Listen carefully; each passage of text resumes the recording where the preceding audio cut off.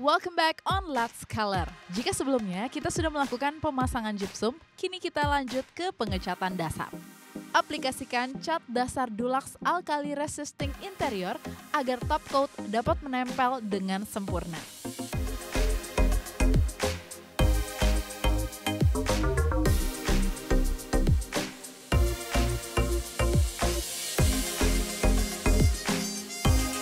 Warna-warna yang digunakan itu warna-warna ciri khas dari si Lego. Ada merah, biru, kuning, hijau, dan warna-warna tersebut sengaja aku pakai untuk e, membantu perkembangan kognitif si anak dan merangsang kreativitas si anak. Pada bagian gypsum, akan kita cat dengan warna solid untuk mendapatkan tampilan seperti Lego pada aslinya.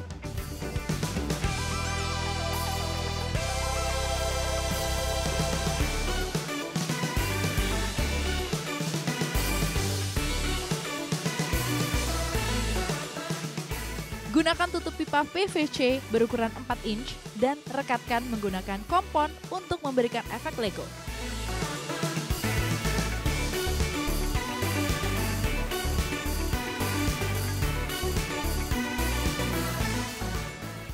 Next, pengecatan dinding lain dengan warna lebih soft sebagai penyeimbang ruang.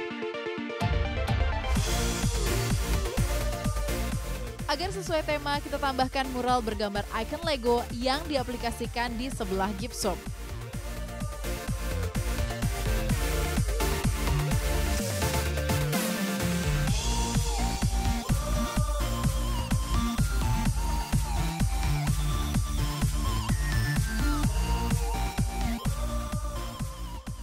Sementara dinding di area jendela pun kita tambahkan gambar icon Lego yang lebih simple.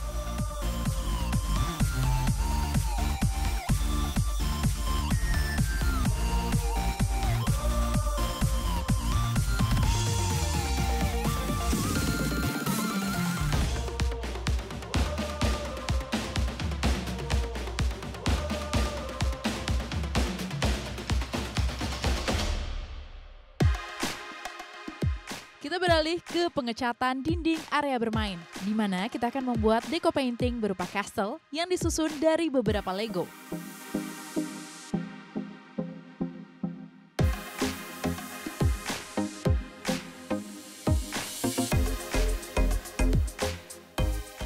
Next, tambahkan aksen tepian Lego dengan cat warna hitam.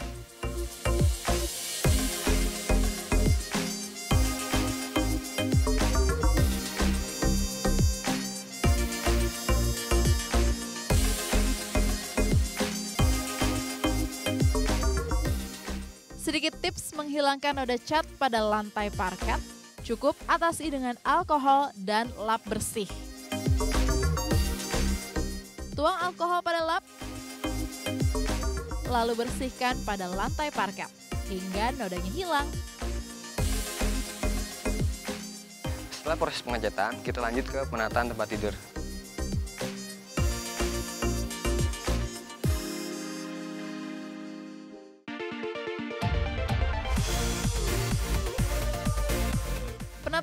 Ini dimulai dengan membuat DIY bertema icon Lego. Siapkan kanvas, cat berwarna, kuas dan pensil. Pertama, cat kanvas dengan warna kuning sebagai dasarnya. Setelah kering, buat pola icon Lego menggunakan pensil. Terakhir, tebalkan pola tersebut dengan cat. Anda bisa membuat karakter lain pada kanvas berikutnya. Selain mudah, DIY ini bisa menambah aksen dekoratif di kamar si kecil.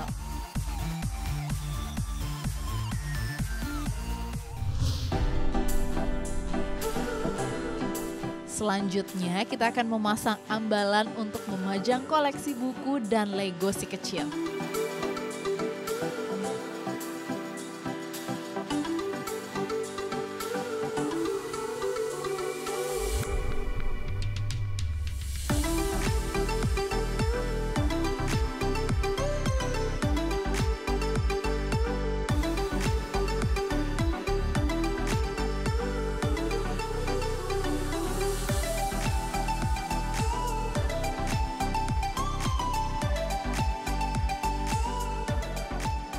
Bagaimana ya penataan di area belajar dan area bermain?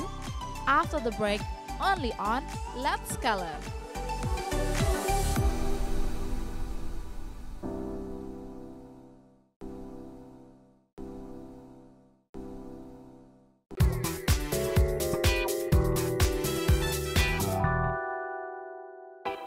Welcome back on Let's Color. Jika sebelumnya kita sudah membuat DIY dan penataan area tidur, kita akan melanjutkan proses penataan area lainnya. Untuk mendukung kenyamanan anak dalam bermain, kita tambahkan karpet berwarna senada dan beberapa bantal. Next, pemberian kursi dan meja di area belajar bisa mengakomodasi kebutuhan si kecil ketika belajar.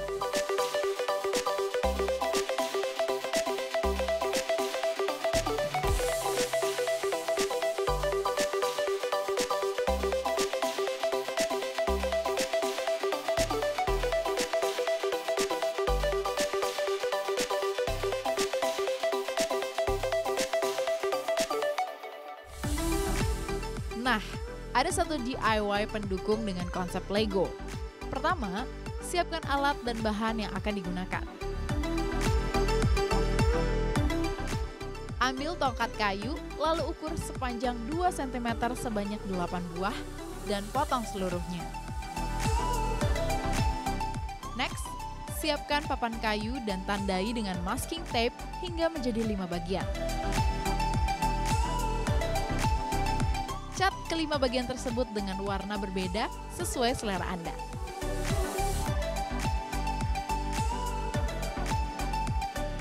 Berikutnya, tempelkan bulatan kayu tadi pada tiap bagiannya dan cat dengan warna yang sama. Setelah kering, pasang hook pakaian pada papan kayu.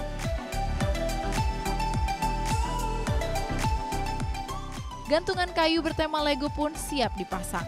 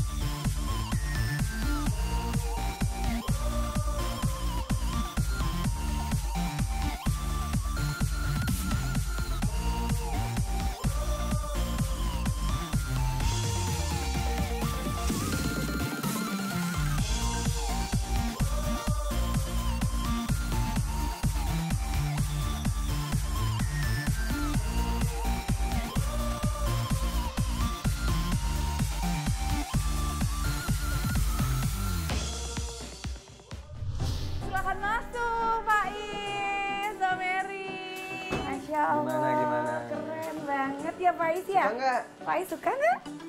Suka? Kamu suka? Eh, Kamu suka dengan semuanya warna-warni di sini, Lego-legonya juga? Wih, gimana Mbak Mary redecorate-nya nih sama eh, Angga di sini dengan sesuai ya Gimana? dengan requestnya Lego. Iya keren banget. Sumpah deh keren banget ya Is ya. iya. Oke, ini karena mereka berdua kayak masih takjub ya gitu. Enggak, boleh jelasin kali apa yang Boleh, dilakukan boleh. di eh, kamar ini? Uh, sesuai request dari Mbak Mary, uh, konsep kamar ini kan Lego. Uh, terus aku bagi tiga area, ada ruang tidur, ruang belajar, dan ruang bermain. Uh, terus di sini juga karena aku pengen ada efek 3D, jadi aku pakai penebalan dinding. Yang ini dari bahan gypsum. Mm-mm. Jadi terus ada mural dari Lego Icon, uh, uh, terus di sini juga ada mural dari Lego Castle dan aku tambahin juga sama DIY. Ada emot-emot dari si Lego Man. Oh, Dan di situ juga masih ada Ini dia hangernya ya. Hmm, DIY-nya untuk gantungan baju. Lucu banget warna-warni. Gimana, gimana, gimana? Sebelah sini gimana nggak? Kalau sebelah sini sih aku pengen nanti uh, si anak ini biar lebih serius. Jadi aku cuman kasih emot dari si Lego Man sama cat dasarnya itu hijau. Oh gitu. Jadi nggak cuman main aja di kamar, tapi juga bisa belajar. Gila, Iya, gimana Pak Is? Gimana? Seneng nggak? Gimana? Nanti mau bawa teman-teman nggak ke sini? Mau main apa di kamar? Main apa? main Lego. Bener banget. Nah, tuh penjelasannya Mbak Mary. Tapi gimana ya, Mbak? Eh, ini nanti kalau misalnya seandainya Pak Is coret-coret lagi, kira-kira bisa hilang nggak? Emang kamu suka coret-coret dinding? Emang suka coret-coret Aku dinding? suka gambar. Ah, coba kalau gitu. barunya. Faiz, Ayo. nih kan ini Coba. pas banget nih ya. Coba aku pengen tahu dong kamu bisa gambar atau nulis apa gitu di sini. Ini sekalian pembuktian nih Mbak Iya. Mary. Coba.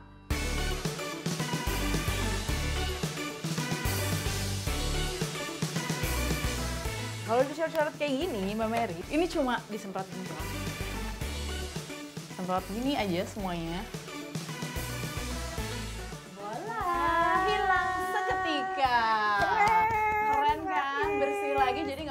Khawatir. Nah, tahu nggak nih Mbak Mary kenapa gampang sekali dihilangkan nodanya? Karena untuk Ready Correct kali ini kami menggunakan cat Dulux Easy Clean dengan Kid Proof Technology yang memang eh, ini bisa menghilangkan noda-noda sehari-hari tanpa merusak lapisan cat. Jadi nggak usah bolak-balik ke cat lagi Mbak Mary, lebih hemat kan?